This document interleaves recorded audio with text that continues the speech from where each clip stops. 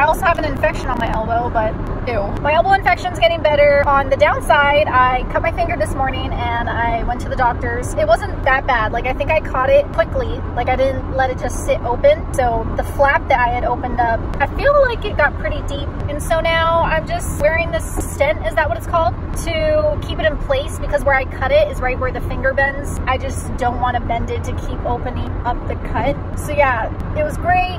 Well, not great, but I'm glad I got it taken care of right away for once. Didn't need stitches because the flap was staying closed. So they put some glue on it, wrapped it up, and I'm good. I'm going back to work. If I had any advice to give on this situation, I would say make sure you're fully awake before making yourself breakfast because I was still kind of half asleep. I was out to cut some butter and instead of using a butter knife, I used an actual kitchen knife, a new one, a nice sharp one, and sliced it. And like probably milliseconds before it happened, I was like, this is a bad idea. But I went forward with it anyway and now I'm paying the consequence. But yeah, that's my morning. Hey guys, it's Malia Taylor. So welcome to today's video. I'm sure you guys saw the beginning clip of me explaining that, but we're gonna go ahead and move forward to today's video. So this is, in my opinion, of course, I mean, it's kind of obvious, the only skincare product you should really be worrying about. And when I say worry about, I mean, it's the most important. If you go outside, you need this skincare product. And if you live on planet Earth, you need this skincare product. So I think it's pretty safe to say that sunscreen it's important. So I have a bunch of products I want to share with you guys today. These are just a bunch of sunscreen products that I've been using and I use them for a bunch of different purposes, but I mean mainly to protect your skin, hello. And I have some that I kind of use more for work. I have some that I use more for when I'm going out.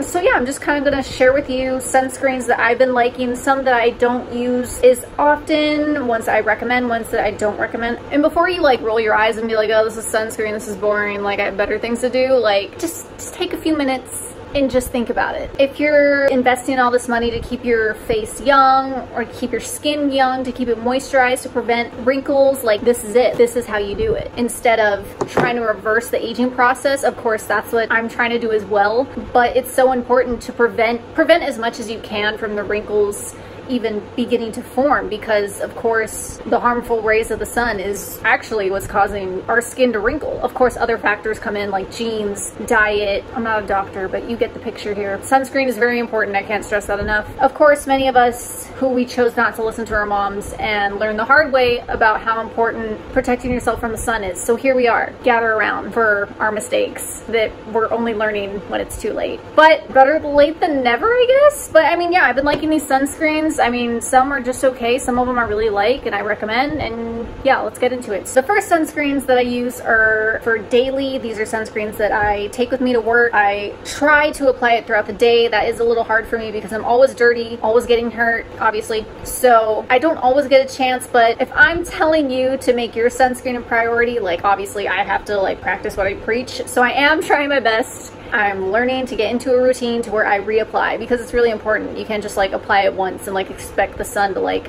back off the whole day. So have to keep reapplying usually every couple of hours. But the ones I use daily, I usually put these on my arms. This is just like a drugstore cheap sunscreen. SPF 50, I believe. It's like a sport kind of sunscreen. Obviously the label's faded because I've had this thing for a while. I use it pretty much every day, at least every weekday. So I put a nice layer of this one on. It is chemical. It is just a cheap regular sunscreen from the drugstore. This one doesn't leave a white cast, but it is pretty greasy, but it does its job, so.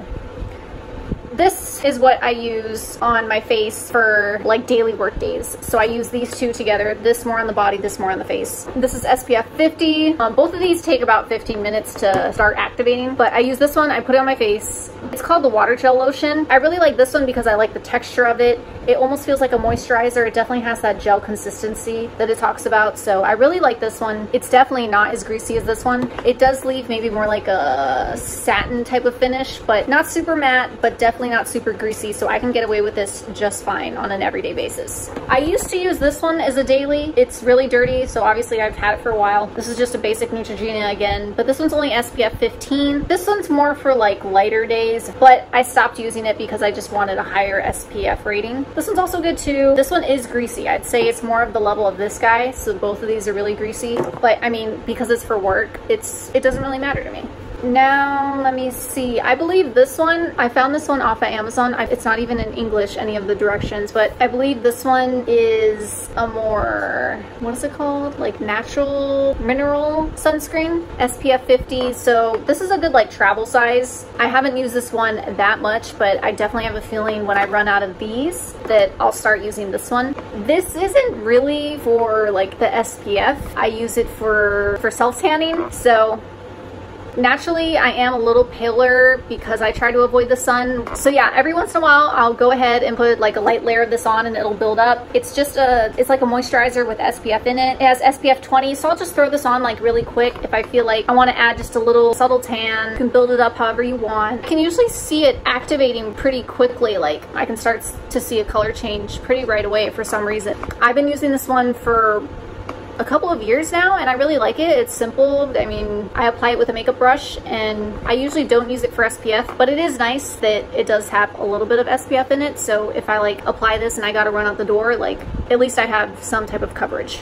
Okay, these two ones are gonna be more of tinted SPF sunscreens. This one is more of a self-tanner type of sunscreen, but this one already has color in it, so they are tinted sunscreens. These are sunscreens that I usually use if I'm trying to go out, if I wanna look nicer, so my skin can look more of like a solid color, because I do have some discoloration when I'm breaking out. This kind of helps to just take the redness down and make me look more a little put together, but it's still like not really makeup. It's like a really really light see-through type of tinted sunscreen. If I had to choose between the two, I would have to say I like the Supergoop one. It's like a light tint to it. I like the way this feels. It's like, I want to say it almost looks like a mousse, the texture. And then once it blends into your skin, it almost feels like a powdery type of finish. So it's soft, it feels nice, and it evens out my skin tone, which is great. And then this one, I've only used this one a couple of times. This one is also a light tint too. I wouldn't say it's as matte, like this one is the most matte out of the group of sunscreens. This one evens out my skin tone too. This one is SPF 41,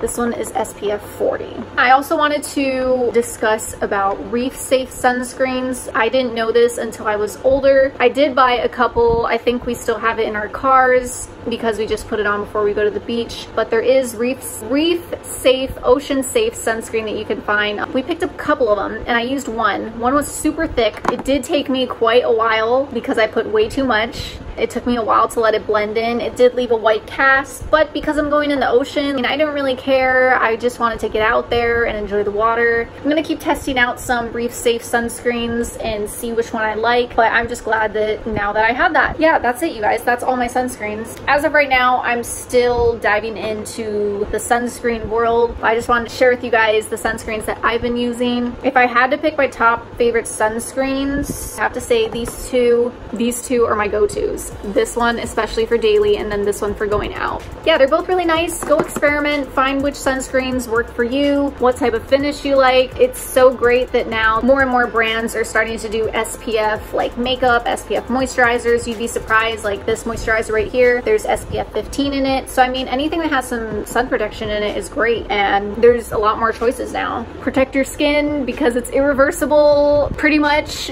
and I had to find out the hard way because now I'm dealing with the side effects, but better late than never. Okay, but that's it you guys. Those are my sunscreens that I'm using right now. It's probably gonna change over time because I'll probably find ones that I wanna keep, ones that I wanna move on from. And yeah, these are just sunscreens that I'm using right now. Hope you enjoyed this video. Be sure you guys like, comment, and subscribe, and I will see you guys in the next one. Bye.